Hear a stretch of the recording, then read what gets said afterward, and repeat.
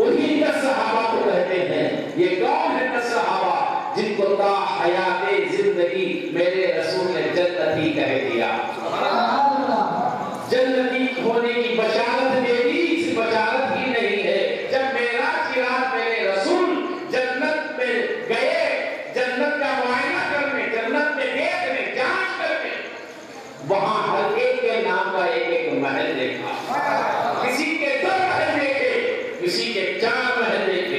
किसी का बालिका देखा किसी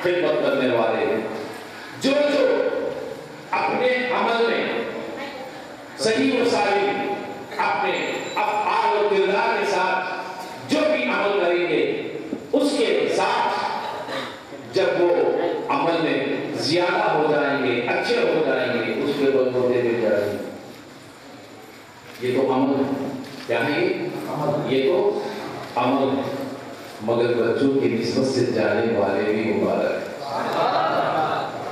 जैसा कहा ना, लड़कियों की नस्बत से, वो भी जाएँगे जन्नत में मुबारक क्या है वो? मुबारक है, मुबारक। मासूम बच्चों की शफात से जाने वाले हैं, उनको वो भी मुबारक मासूम बच्चों की सिफारिश से जाने वाले, जिसके मासूम बच्चे माने हैं? ये छोटे बच्चे जब फौत हो जाते हैं इंतकाल कर जाते हैं, छोटे मासूम बच्चे। तो पहले से कयामत वो अपने माँ बाप का दामन पकड़ कर लाएँगे।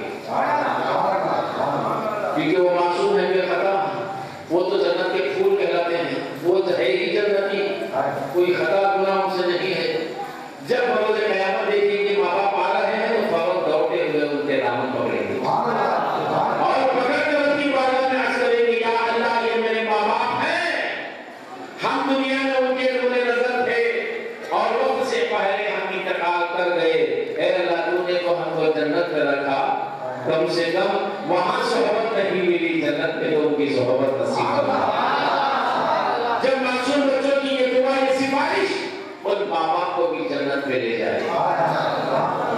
बच्चों को कुरान पढ़ाना सिखाया, अमल करना सिखाया, इबादत सिखाई। तो उसकी बदौलत माँ बाप मर गए तब भी वो माँ बाप अगर गुनहगार होकर मरे तो बच्चों का अमल माँ बाप के लिए जन्नती बना देता इसीलिए कहते हैं, बच्चों को सही मानों में अच्छे अमल सिखाओ। कुरान अल्लाह के नबी की मोहब्बत उनके दिलों में डालो। यही मोहब्बत कल काम आएगी। हमारे लिए ज़रिए निजात बन जाएगी हमारे लिए क्या है ज़रिए? निजात बन जाएगी तो यही वो रसूल है। जब ये सारी सिफारिशें सब खत्म हो जाएँगी। बेबस और लाचार लोग खड़े रहेंगे। कोई उनकी सिफारिश सुनने वाला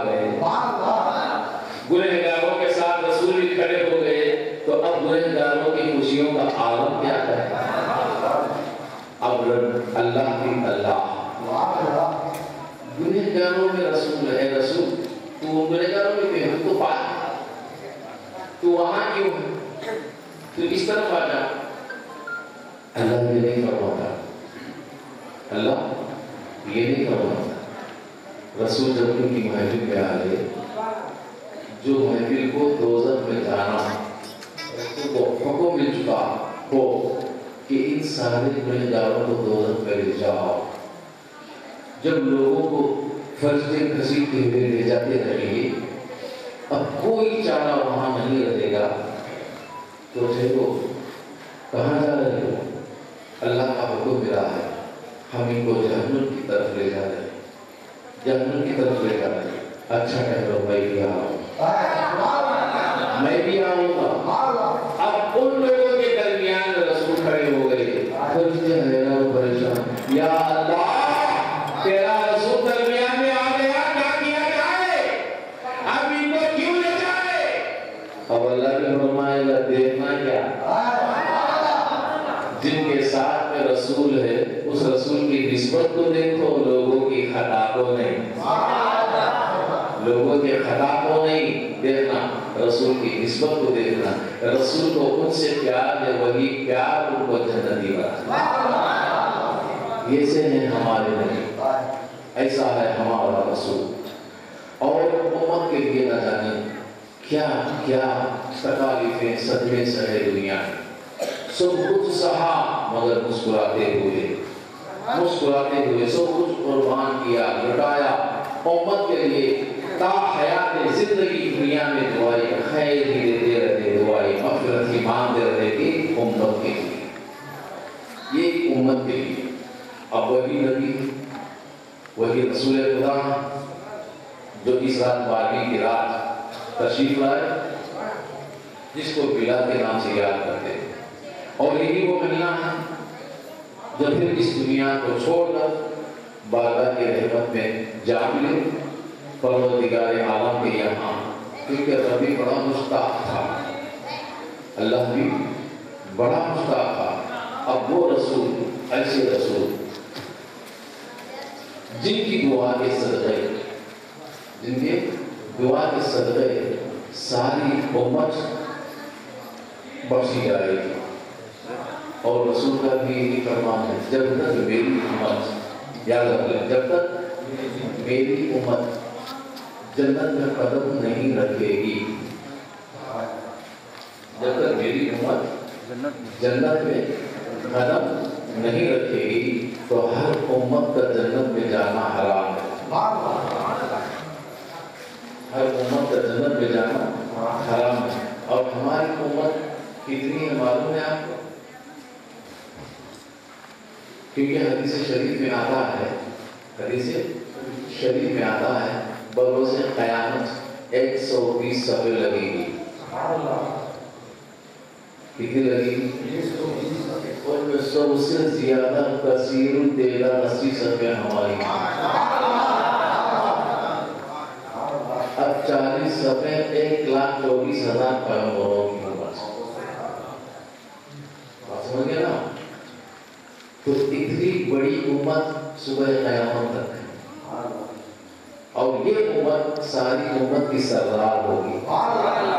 क्योंकि नबी, सरदार उम्मत भी उम्मत की सरदार। इसलिए कहते हैं तो रात भी सारी रातों की सरदार है। वो इसी को मीला की राह कहते हैं। ज़िक्र मीलाद अब हमने केक काटा नहीं काटे मीठा। मीठा खाना तो हमारे नबी की है अब इसका नाम दिया है केक। अब अक्सर लोगों के ख्यालों में एक बर्थडे को काटा जाता है। एक रिवाज बन गया है मगर यहाँ हमने काटा मगर फातिहा देकर काटा। क्या देकर? फातिहा देकर केक काटा। चाहे इसको फातिहा का तबरुक समझो या उनकी नज़रों में जैसा समझते हैं बर्थडे का केक समझो मगर एक नुकता इसके अंदर ज़रूर है बर्थडे उसका मनाया जाता है जो पैदा जिसका मनाया जाता है, उसका मनाया जाता है जो पैदा मगर हमारे नबी के पैदा होने का सबूत कहीं भी नहीं। ये हम दुनिया वालों को समझने के लिए पैदा हुए बीबी आमिना अन्हा के बदन से। मगर वही बीबी आमिना फरमाती हैं जब वो वक्त आया तो घर का छत खुला।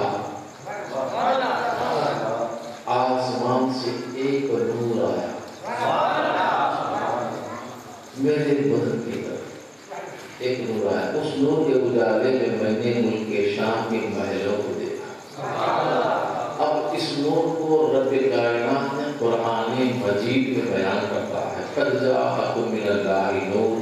के अल्लाह की तरफ़ से नूर आया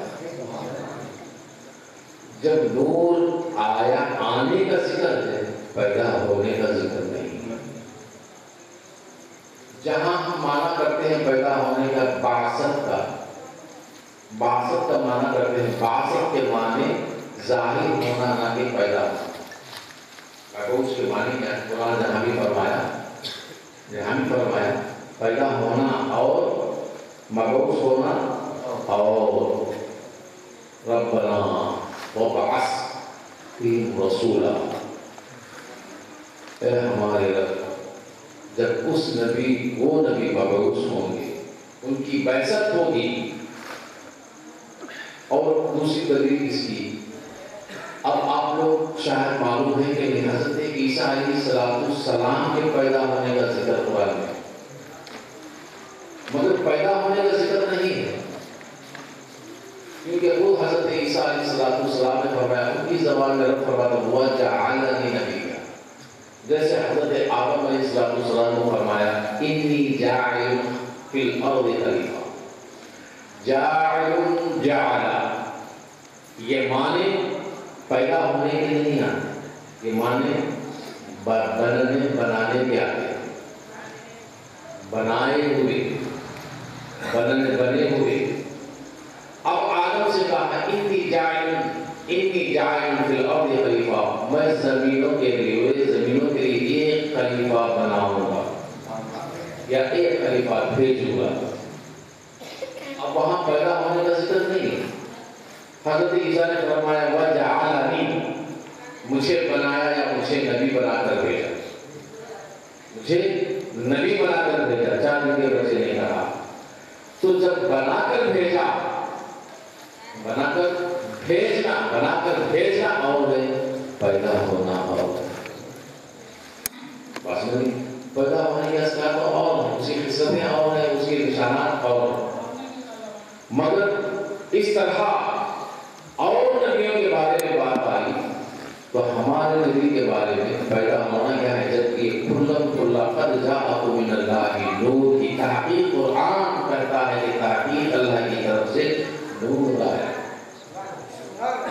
अब वो नूर कैसे आया बीबी आमिना रज़ियल्लाहु ताला अन्हा ने ज़ाहिर किया बता दिया अब पैदा होते तो बर्थडे कहते लेकिन ये बर्थडे नहीं है ये बर्थडे नहीं है बासत रसूल क्या है ये बासत रसूल है वे समझो को ये बात समझ में नहीं आ रही कुछ और कह देते हैं अब बासत रसूल में तुम केक काटो तुम मीठा पकाओ फातिहा दो खाओ या खिलाओ ये काम। ना शिरक है ना बिदत है। ना गलत है ना हराम? समझे क्या नहीं? तो अल्हम्दुलिल्लाह, ऐसे प्यारे रसूल घर में काम करें। बाकी घर में काम करने वाले। जिसका नाम बोले। काम करती थी क्योंकि बात लोगों की चाल है इस पर भी क्या है? इस बात पर भी जैसे आजकल के मुनाफिकत चाल चलने वालों की बातें कर सकते ये उस वक्त भी थोड़े लोग ऐसे मुनाफिकत भी उस वक्त से चली आ रही सामने अच्छे, पीछे ताना जनी ये को क्या हो गया शायद घरों में बहुत नहीं मिलता अरे तकलीफ़ चल रही है औसाफ मुस्तफ़ा बयान हो रहा है यहाँ दोस्तों की दरुद शरीफ पढ़े अल्लाह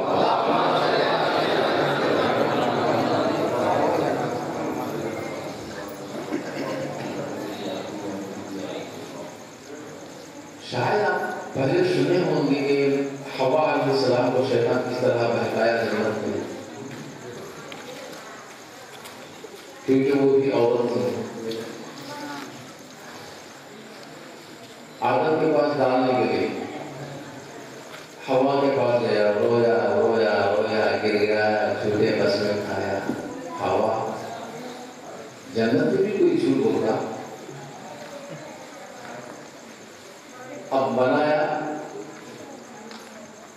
जिसको खाने को हराम किया हमने खिला दिया अब बेचारी खाई तो अकेली खाई मामला हो जाता मगर खाई अकेली खाई तो कहाँ मैं तो खाई हूँ मैं अकेली हूँ मेरे शौहर को भी खिला के भेजा था फिर वो कौशल आए शौहर को खिलाया अब शौहर को तो हुक्म मिला था वो तो नबी है मना किया रब ने मना किया मैंने माता ने माता ने माता ने माता लेकिन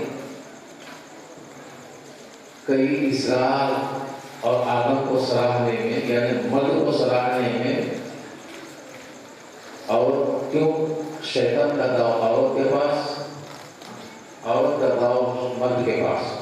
बिल्कुल आसानी से करता है। अब वो शौहर को खिला दिया बातों में, बातों बातों बातों में खा लिया। एक वक्त बात को मानकर खाए। इसीलिए शायद कहता है, बोलो।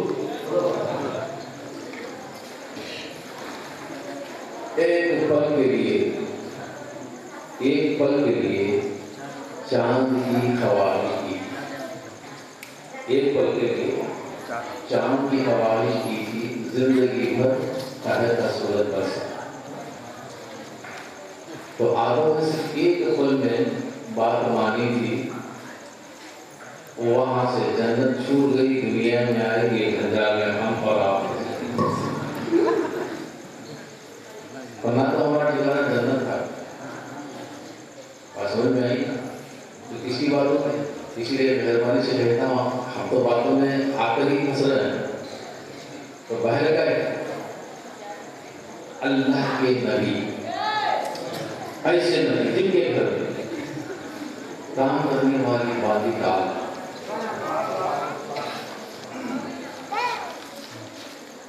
करने वाली झाड़ू लगाने उसका इंतज़ार उसका हाल एक बार बाहर से आ रही है सर पे जो ओढ़नी थी थोड़ा हिली थोड़े बाल नज़र आने लगे क्योंकि मैं इसलिए कहता हूँ ताकि जितनी भी खातन औरतें बैठी हैं बात को गौर से कि मेरे नबी गौरव सल्लल्लाहु अलैहि वसल्लम फरमाती हैं, जिसका सर खुला है, वहाँ रहमत के फरिश्ते नहीं आते। इस हदीस ये गया, जिसका सर खुला है खास कर ये औरतों की जिसका सर खुला है, वहाँ रहमत के फरिश्ते नहीं आते। हर हमेशा वो अपने सबको हाँपे रखे क्योंकि इसका एक मामला ये था कि हदीस शरीफ में आता है, एक बार सरकार कायनात सल्लल्लाहु अलैहि वसल्लम उम्मुल मोमिनीन बीवी खुदीजा कुबरा रज़ियल्लाहु तआला अन्हा की सोहबत में बैठे, घर के और उम्मुल मोमिनीन बीवी खुदीजा रज़ियल्लाहु तआला अन्हा का सर खुला।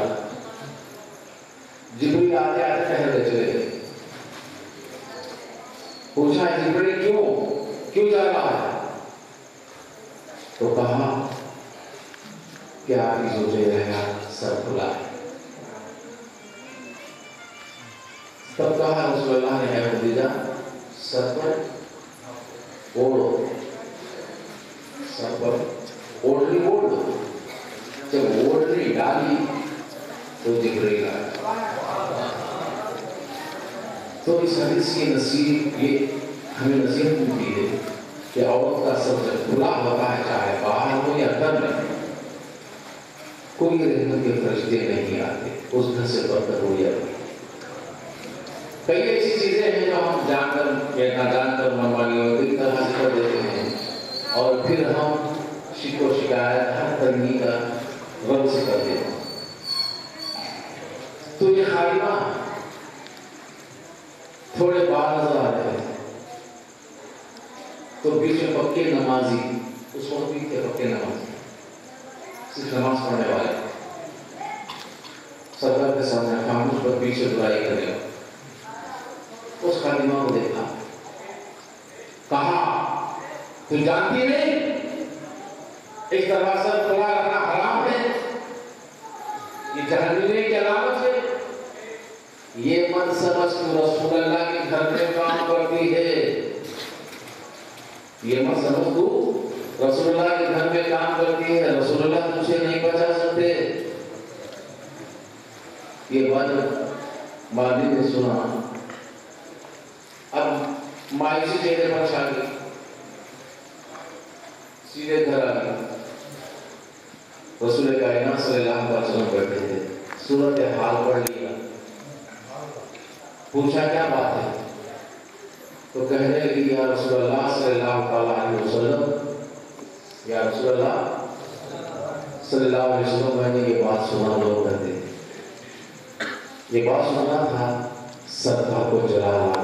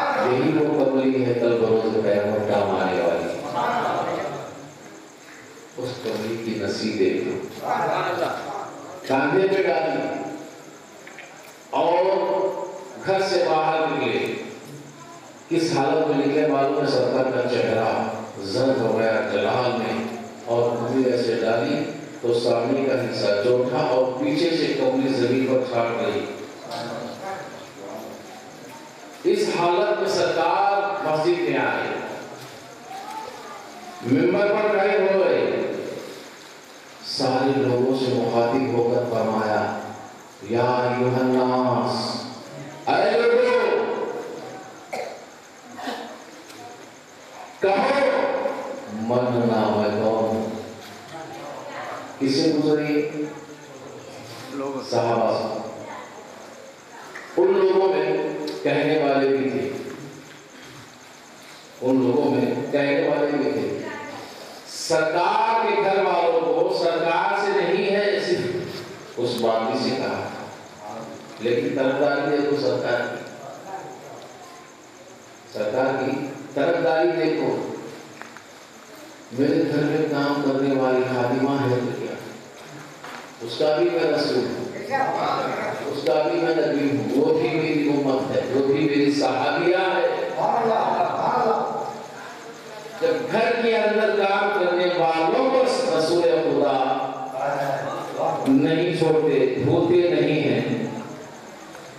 घर वालों को क्या छोड़ेंगे उम्मत मुस्तफ़ा का आलम और ईमान वालों का क्या आलम होगा सलाह